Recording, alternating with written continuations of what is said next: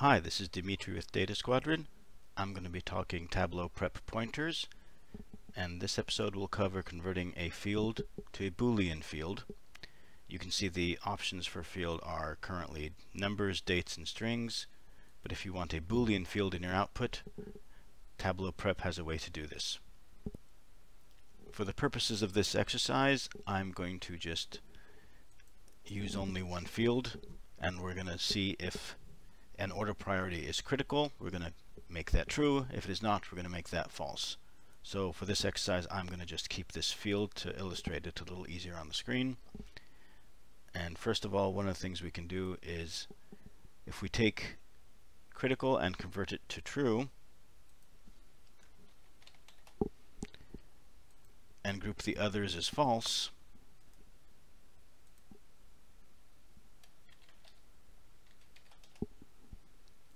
we still have a string. We don't have a boolean value.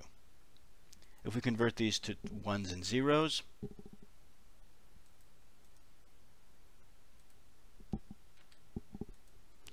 and then convert the others as well,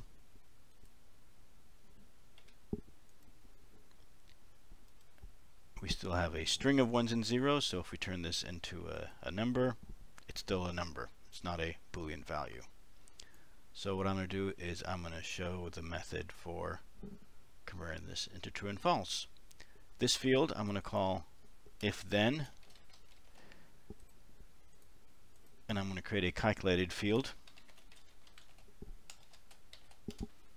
and within this field I'm going to place the formula for whatever calculation you would like but in this case if order priority equals critical then true else false. Apply this and save it. And here you see we have a boolean value true and false. Another way of doing this is to create a logical function.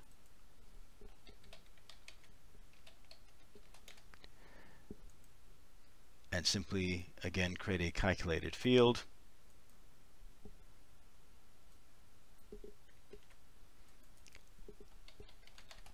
this one logic and the value is order priority equals critical.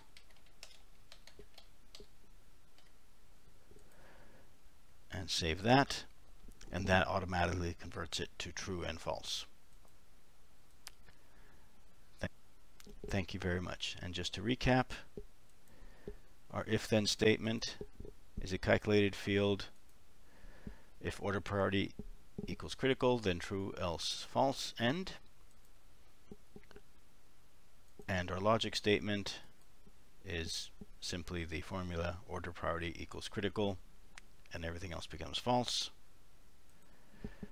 Thank you very much.